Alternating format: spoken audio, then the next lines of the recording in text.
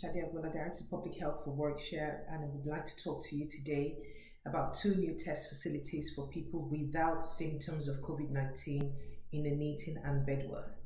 The first centre in Bedworth is already open, and a second test centre in Nuneaton is open at a temporary site at Nuneaton Fire Station today. Both centres will be open from 8 a.m. to 8 p.m. Monday to Friday and 10 a.m. to 4 p.m. on Saturday and Sunday.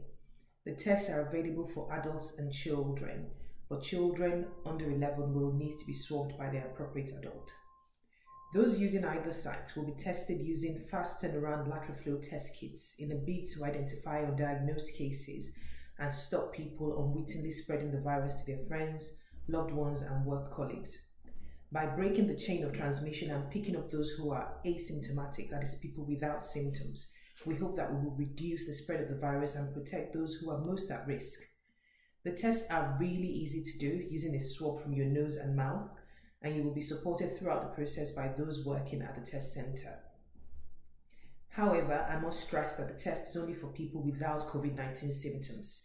Anyone with symptoms of COVID 19, that is a high temperature, a new continuous cough, or a change to their sense of taste or smell, must self isolate and book a test online at gov.uk or by calling 119 as usual. As with any test, nothing is 100% accurate, so please continue to follow the guidelines of hands, face, space, even after you receive a negative test.